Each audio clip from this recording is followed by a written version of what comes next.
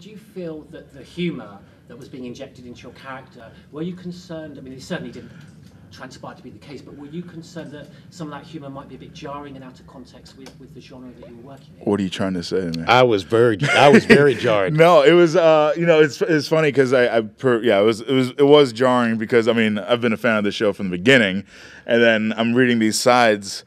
I mean, it was like I was talking to a dog named Santiago, and not Ezekiel was like Mister like Yoshimaru or something like that, and um, I really was like, it's fruit time. Okay, well, this is just the the, the fake sides. And then when the real script came out, I'm like, oh, I say all those things. um, but yeah, I mean, but when we were, when we were shooting it, I he was, was worried so about nervous. it. I was not. I I knew that we needed to be the light in the darkness, you know. And so uh, and so, um, yeah, Cooper was uh, he he was a little.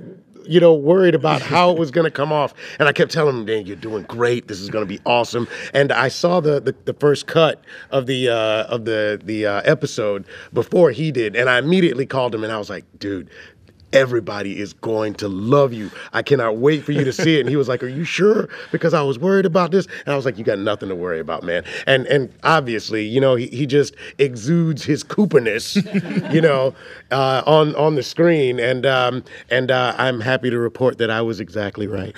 yes, you were. I was. It was one of those things. Like, oh, here we go. Like Halloween came and that that episode was airing. I was like, it's like, oh. and then it was when um I guess it was when Talking Dead came on and Yeah. my phone, which I had notifications for everything. It started. It was at ninety percent before I watched the episode, and then my pocket started getting like burning up. It started getting really hot. And I took my phone out. It was like drained to twenty percent, and like Instagram, Twitter, all the social media. I was like, oh. All right, so I need to change notifications. you got to turn those off, man. Yeah, yeah. It was awesome.